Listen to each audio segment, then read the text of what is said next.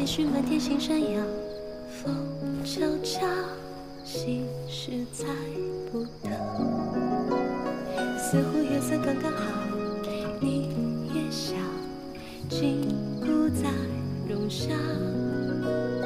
此刻我终于知道你的好，不怕爱的飘摇。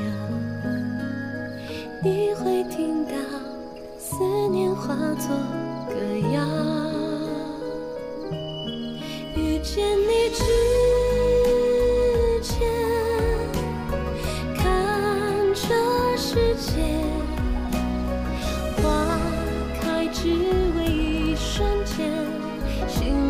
心里却少了一些，突然才发觉。何为喜悦？怎么样看懂了没？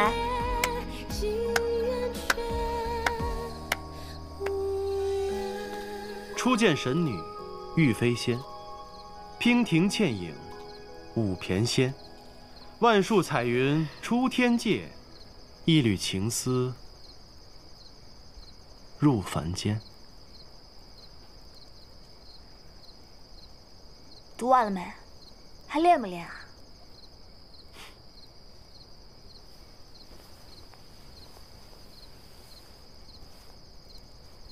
不如我们先休息片刻，煮些山泉水，饮饮茶，赏赏月，小歇片刻，然后，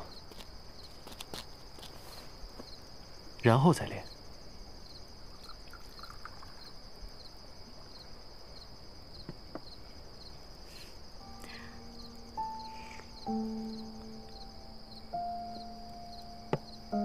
好，那今日便不练了，我们改日再练。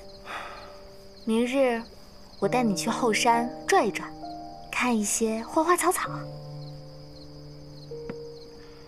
赏花踏青，不如我们再备一壶果酒。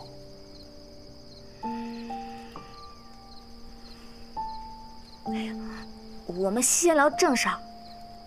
你与周大哥谈了吗？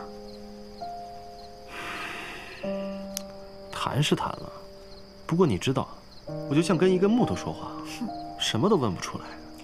我和大师姐也聊了，她说，赵大哥在聊到自己身世的时候，气氛就有些不对劲儿了。哎，你知道赵大哥的身世吗？据我所知，大师兄是有家人的，不过具体情况，只有四师叔最清楚。还记得那时候我们还小，有一次开玩笑，嗯提及他的家人，他当场就跟我翻脸了，好几天不理我。现在想想，确实有些蹊跷。嗯原来症结在此啊！哦，对了，嗯，他还说他在等一个答复。答复